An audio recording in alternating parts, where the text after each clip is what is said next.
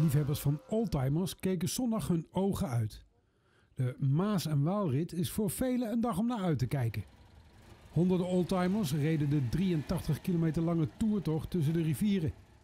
Alle oldtimers mochten meerijden, mits deze ouder dan 25 jaar oud waren. De oldtimers verzamelden aan het Kerkpad in Horsen, bij monument Hertenkamp. Vanuit daar vertrok de stoet voor een natuurrijke ronde. Vergezichten, bochtige dijkweggetjes en smalle paadjes kenmerkten de jaarlijkse trip.